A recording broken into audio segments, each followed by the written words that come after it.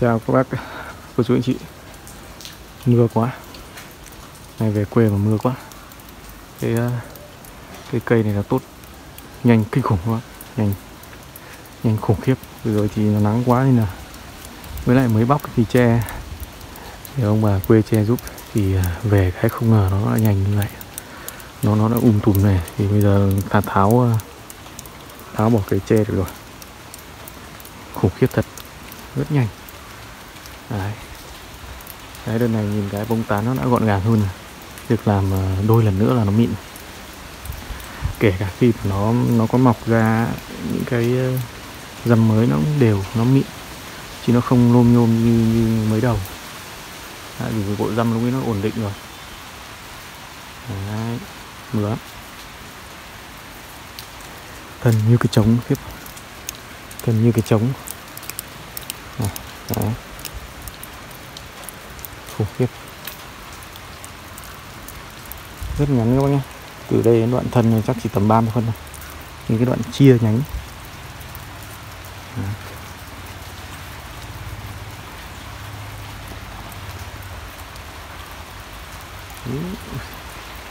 Mưa quá. Cây này cũng thế. Nhưng cây này nó nhanh hơn cái cây này răm nó hòm hòm hơn rồi cây kia thì nó còn mới. Răm nó mới mới làm còn cây này thì hòm hòm rồi. Đấy, mặt sau đây. Cây này cao nó cao cỡ khoảng một mét loanh quanh một mét các bạn từ mặt chậu lên nó khoảng độ chắc khoảng một mét một mét một mét hai.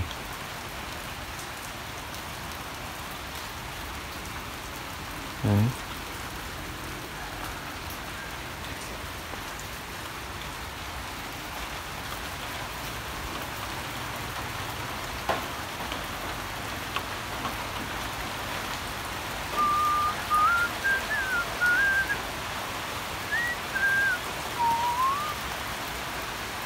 Nó đang có áp thấp nhiệt đới mà các bác.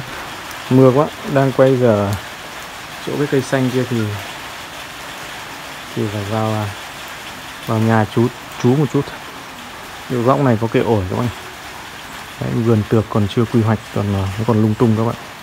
Đấy, thực tế là tôn chậu với lại cái không gian nó còn chưa chưa chưa chưa được đầu tư. Nhưng mà nhìn nó có mặc dù có cây đẹp nhưng mà nó còn ít thôi chưa được đầu tư thì chắc là sau này về già thì về à, làm cái vườn ở đây chơi, anh em giao lưu. Các bác ạ. Đấy. Ổi. Giấc mơ ổi ngày xưa đây. Vẫn luôn rất thích ổi các bạn. Đặc biệt thích ổi.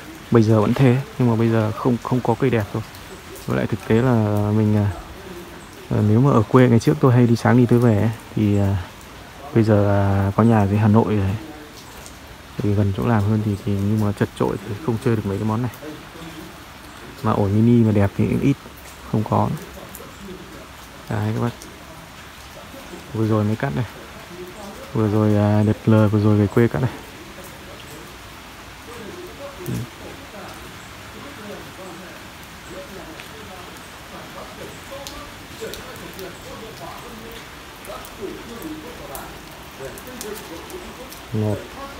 2 3 4 5 quả.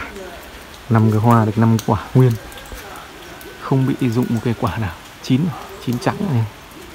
Đợt này nó hơi còi quả nó bé trước quả nó bằng nắm tay ấy. to lắm nó giống ổi quả to. Chín trắng này. Có tí ờ, giọt nước là nhìn nó. Mắt mắt các bác nhỉ. Mỗi tội là chắc là nó nhạt vì mưa, nhạt. Ừ gốc gác này cứ để tự nhiên này thôi. Đấy. Cũng cắt giật lên ghê phết đấy. Quả kia nhìn ngon quá. Ăn luôn tại cây được. Chín trắng rồi. Cấu phát là là là là, là cấu phát là, là thủng ngay mà. Đấy có gì? Phổi đấy.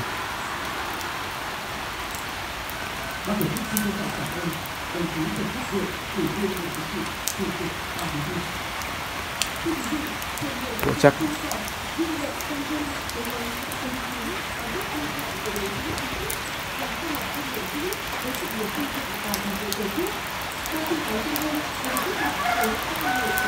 Đấy, cái ổi kìa Đang mưa rất to các bạn.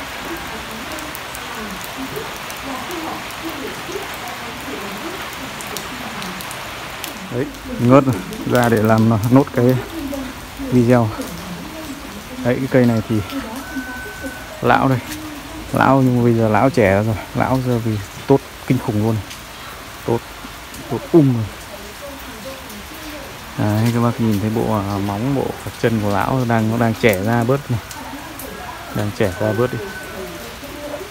Đấy. Sẹo đang bo nhá sẹo đang bo. Này chờ mùa bóc uh, răm ra đây. Thì các bác nhìn rõ hơn.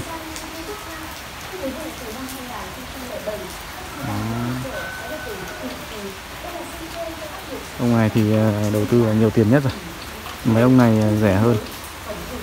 Ông này rẻ hơn nhưng mà ông này giờ lại thấy yêu quá. Còn đồ mini ờ, đồ mini hàng chậu, hàng bê được thì thích nhất là cái cây sung này. Thích nhất cây sung này. Nếu mà có điều kiện ở nhà chắc cố gắng chăm cho nó thật nhiều quả. Bây giờ nó cũng đang rất là nhiều quả nhưng mà nó không bền, nó cứ bị rụng. Chắc là mình để nó nó rậm rạp quá. Nó rậm rạp quá rậm rạp quá trong tối nó rậm rạp quá. Mà ở cái đầu cành mà nó có thể ra thì mình lại cắt đi rồi. Nên ra là nhiều khi là cũng không có dữ liệu.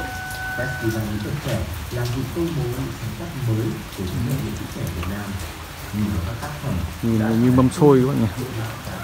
Mâm xôi rất to bằng luôn cái mâm bằng cái mâm ăn cơm các bạn. Mâm nhôm ăn cơm thậm chí rộng hơn. Rộng hơn mâm ăn cơm. Đó, quả này ở bên trong thì nó tối quá, nên là nó nó cứ ra là nó bị thui ấy. thì bây giờ nó ra ở cái đầu này. Thì mình không cắt thì nó cứ đậu quả thôi. Nhưng mình cắt đi để giữ tán thì nó nó lại rụng, rơi mất. Đấy. Đợt trước có mấy cái chùm quả trong này đâu rồi Chắc là lại rụng rồi.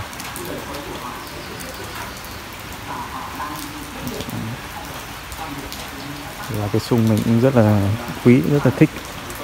Rất là thích rất là thích. Lão đây ui nước mưa bắn tung tóe. Cây này rất mong thay được chậu cây này. Đường thứ nhất là mua được chậu thứ hai là chắc phải nhờ mấy người khiêng lên mới mới giải quyết được cây này. Ở trước cây này phải có cái uh, kích có cái máy có cái kích uh, kích du tay ấy thì mới làm được chứ không sức người không làm được. Đấy, vâng. Ờ, các bác Ôi, ra lại cái ổi là tí.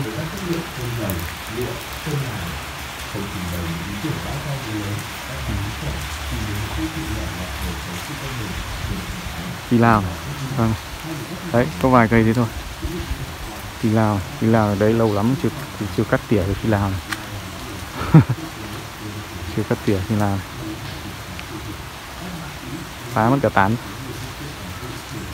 Hoa giấy bé xíu không có hoa Sắc pháo, hồng sắc pháo. Đào Tết đây, đào Tết. Hôm trước cây này có mấy quả ổi mà chắc chín rồi. Cây này có mấy quả chín Đây có cuống đây. Chắc là có ai đó vặt rồi. Vẫn còn cuống này Đấy mình còn nhớ cơ mà. Xanh quê. Xanh quê. Dễ vẫn trên chậu nhưng bác nhưng dễ nó phi xuống đất nên là Hôm nào về cắt cái đấy. Xem có được cái cốt nào hay không. Dưới cũng ổn phết đấy.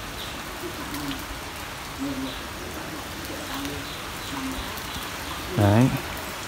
Đấy, mưa nhiều này, Và cái lá nó rụng xuống thì lấp cái lỗ này rồi thì cũng được thả nước rồi. Ổn rồi. Coi như là mình đã được thả nước.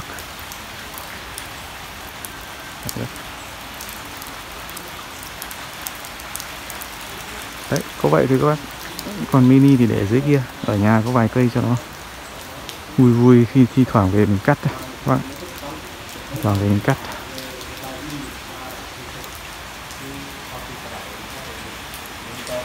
đấy khoái nhất đồng này khoái nhất đồng này quả này là trắng nhất, chín rồi. Quả này chín, rõ ràng. Năm nào nó cũng rất nhiều quả, cây này. Vừa giúp đầu cái vòi nước này ướt hết. Ok. Rồi. Lại bốc đít lên hà nội thôi.